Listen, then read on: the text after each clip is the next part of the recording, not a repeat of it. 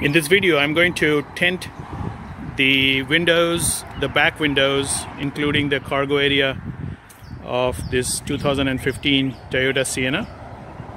And uh, I have ordered a pre-cut tint from eBay and I'll put the link and I will walk through the process of uh, how that uh, process of tinting worked. I got the pre-cut tints from eBay. It came in a really nice roll and uh, it was packaged very well.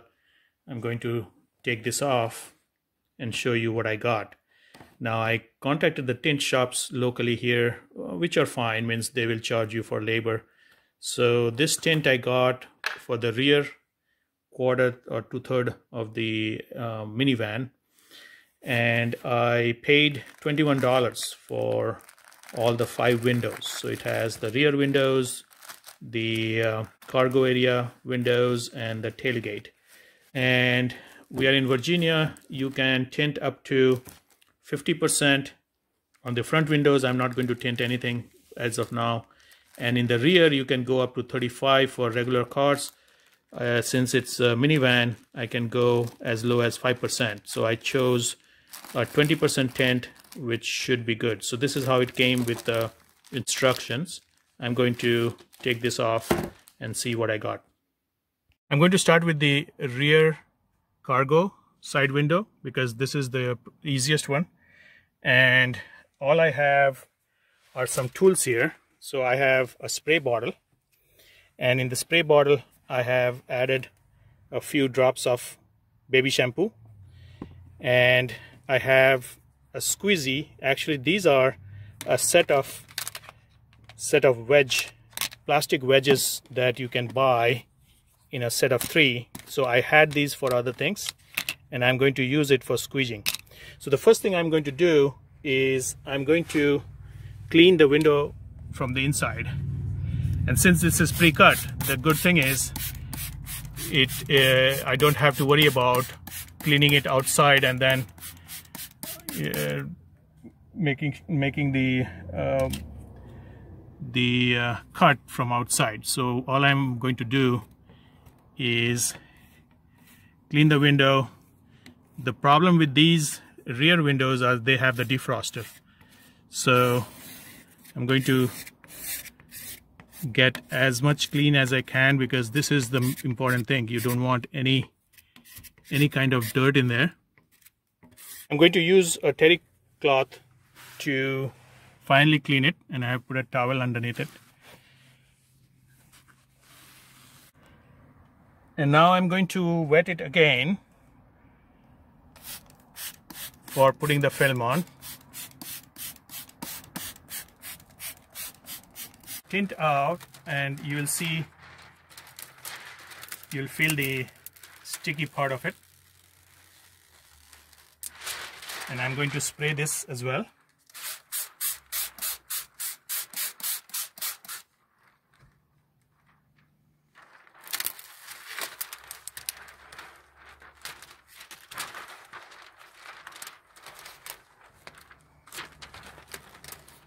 I'm going to slide it as I take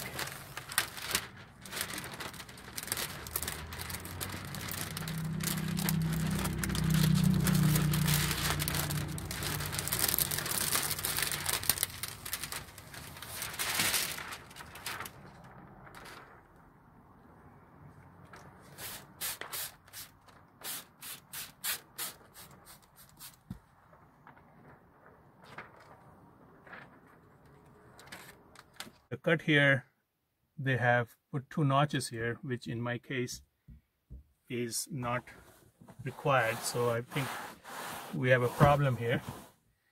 So I did write to the um, seller and I said that the I don't have these two notches. And he was very nice to send me two pieces because his template doesn't have anything without notches so he sent me two blank templates, blank uh, tints for me to cut, and I was okay with that. So in this today, I'm going to cut it, and I have a sharp uh, razor blade here. And what I'm going to do is I'm going to use the same template onto the new one and cut out these pieces without the notches in there. So at least I will get those um, template carved out. So what I did was I sprayed some water between the two layers or you know between the the uh, template and the new one so that it doesn't move. So when I'm cutting it I'll get a clean cut.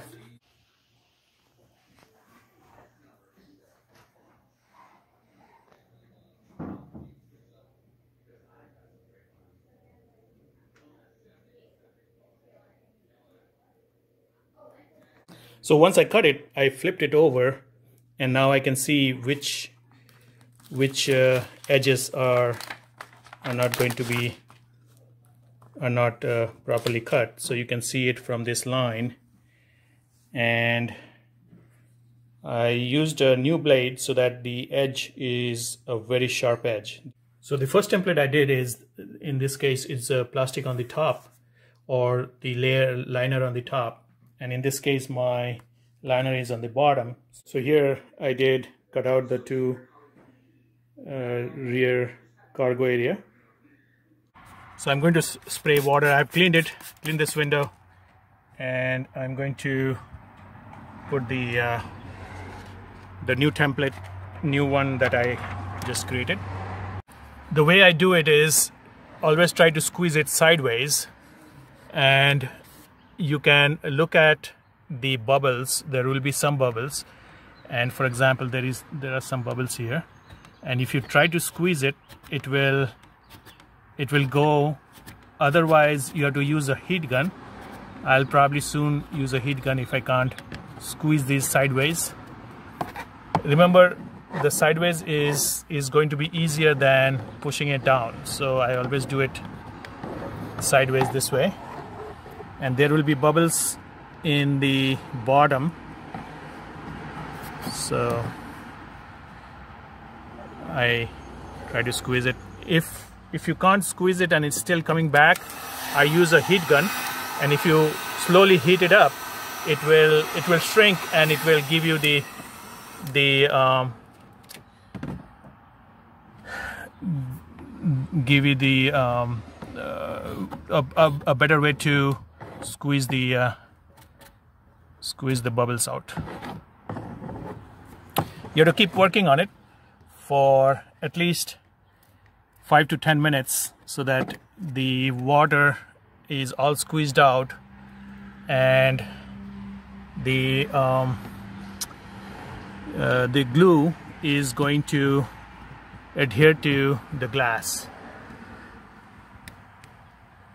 so almost there um, I try to make sure that these lines especially if you have the defroster lines they create the problem.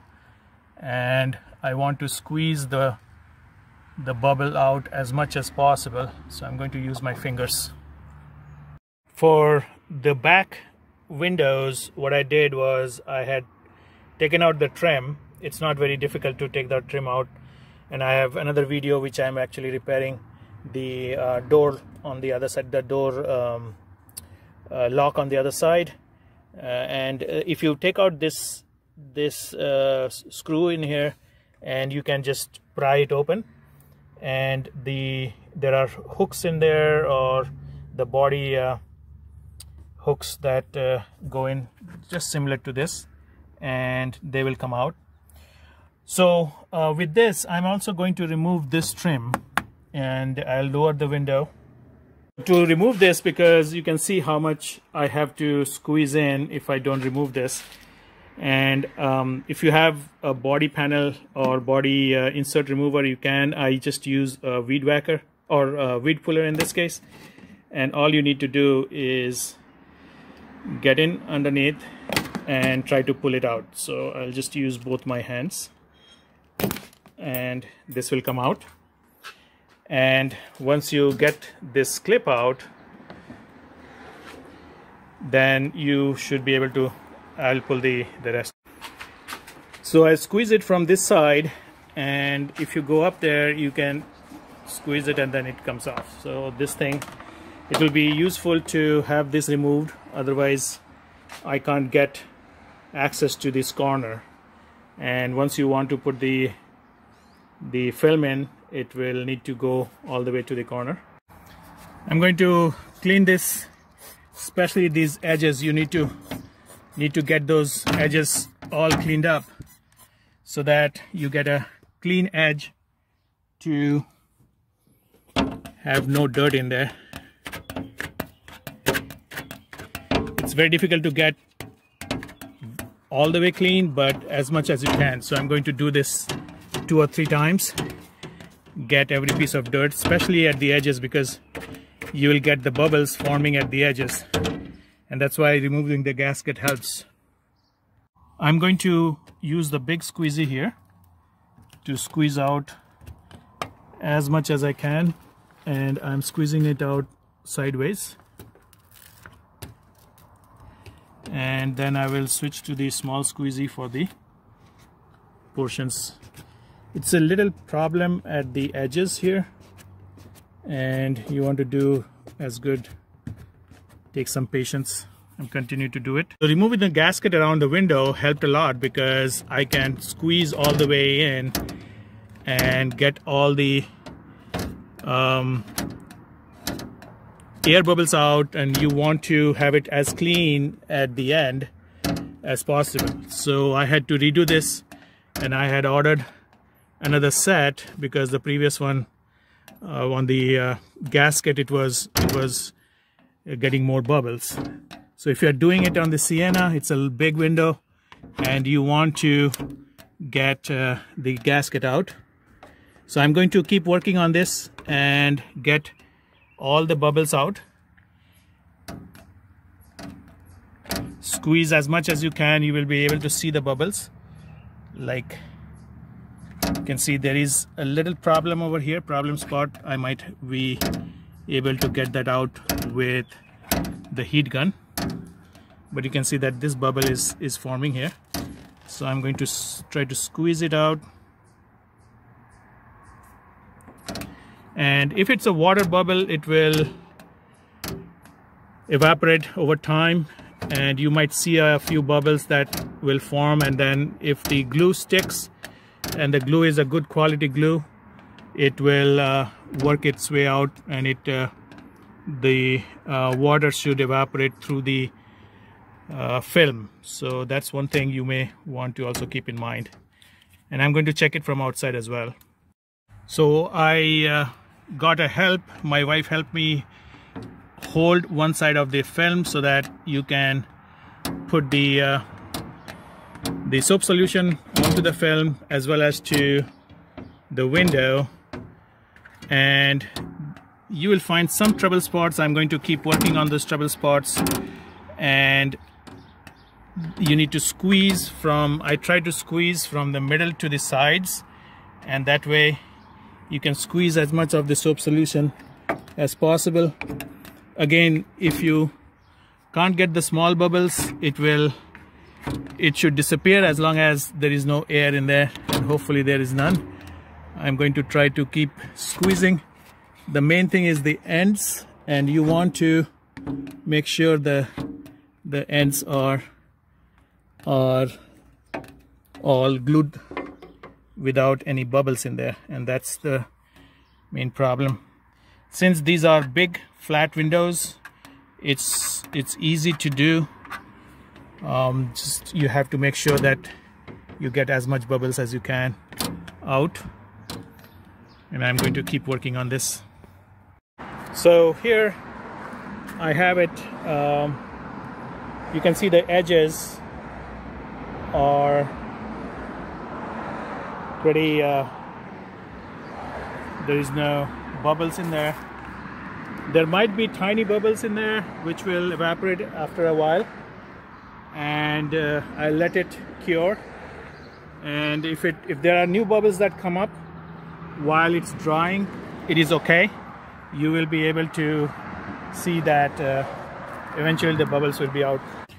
For the rear tailgate window I'm going to have to heat shrink it. The reason you need to heat shrink is you can see that this is a curved window. And if you don't heat shrink you won't be able to to uh, put this without uh, any creases. And once you get a crease it's it's it's ruined. You have to get a new new tent. So I'm trying to align it. So to heat shrink you want to put the heat on on these creases or the excess material and you want to squeeze them out. And as you put heat and I have to use my other hand so you can see that I am removing these big creases. Now make sure that you don't create you you want to squeeze them out not create a crease. So the rear tint didn't come out as good as I expected. There are quite a few bubbles in here and you can see the bubbles right here. So uh, what I'm going to do is I'm going to take this off and retry again. The shrinking process needs to be done properly and to fix this at this point is going to be a challenge. So I'm going to get a new piece and try it again. So to remove a tent I'm going to pick a place where it is uh, and this looks like since I had put it only yesterday it's come off pretty easy.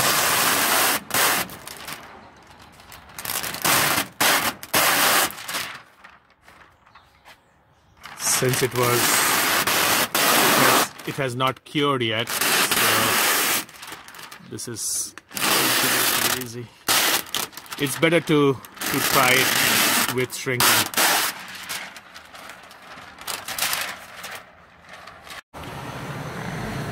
so I decided that the pre-cut film is not going to work for me because once you shrink the pre-cut film it's going to leave some edges and it didn't work out well. So I tried it as you saw in this video.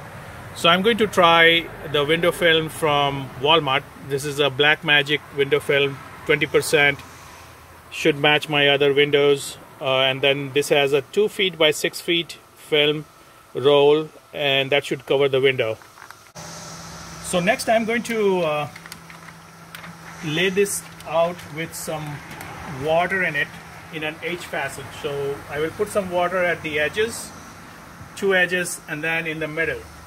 And this is the difficult part is you have to shrink this film so you can see all this excess material need to be shrunk from from both uh, the top and the bottom and these are going to be you know problem if you don't shrink it before you put it on a curved window. And that's that's the bigger problem of it. Next I'm going to take uh, a heat gun on the highest setting.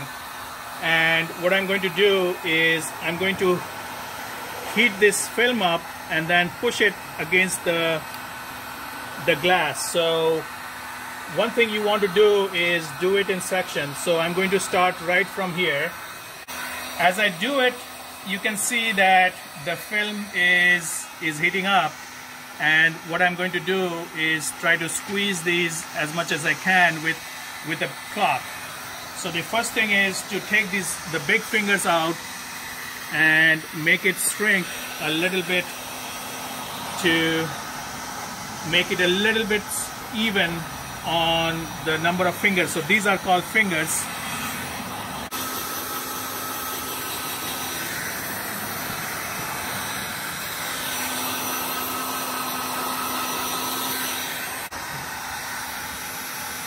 I chose the cloth because if you do a cloth, it is less chance of getting any kind of creases because you can smooth with your hand.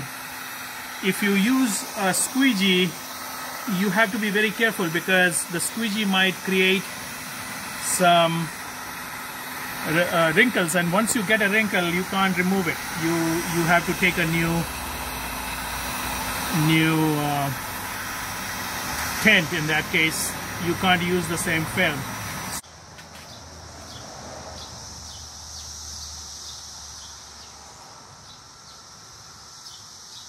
So now I have taken it off and I'm going to squeegee from the middle.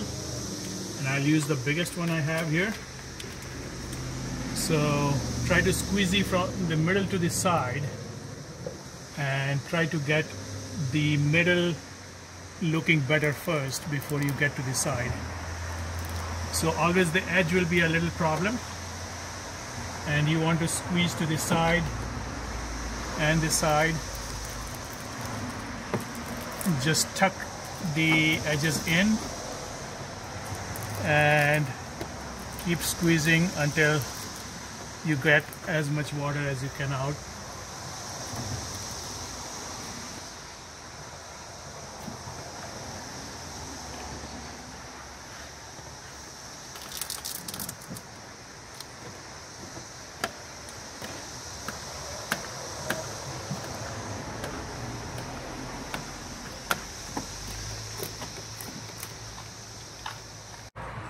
So there are a few uh, of these fingers and often it's not going to go. I'll try to squeeze this in but if you have a few of these and they are coming back you may want to bring the the heat gun and and try to shrink it again. And once you do that it will go away. A little bit of heat will help and some of the fingers are going to be stubborn so you have to keep working on it.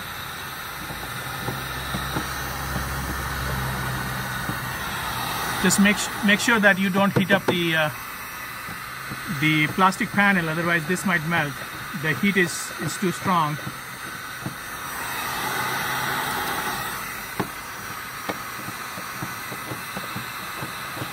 On the side ones uh, the the tint uh, looks fine. Actually you will see these are the bubbles that are there but they will go away. So give it a, a day or two when it cures. And if you look from inside as long as you don't see any kind of imperfection in there it should go away. So I'm going to let it cure. And usually uh, if you uh, leave it in the hot sun it will cure faster. And I'll just let it cure. It's a little cold here. I'm going to put the gasket back in today. I waited for a day for it to cure without the gasket. I left it overnight. And just make sure that the the film is sticking properly so that the gasket doesn't rub. I'm going to uh, clean the gasket the channels inside it since I am already uh, out here. And then I'm going to put that back in. To get the gasket in you can start putting it first like this. And then while holding the gasket you want to raise the window.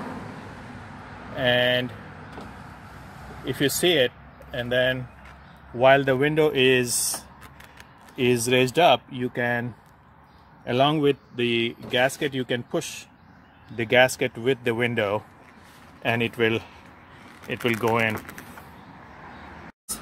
You see the tinting has been completed.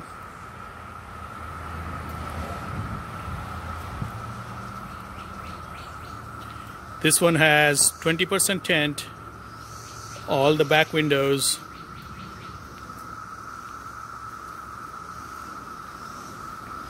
From inside, it looks pretty good. No bubbling, nothing, and it worked out pretty well. If this video was helpful, click on the like button and also you can comment and I'll try to answer your questions on tinting uh, minivan, especially this is a 2015 Toyota Sienna.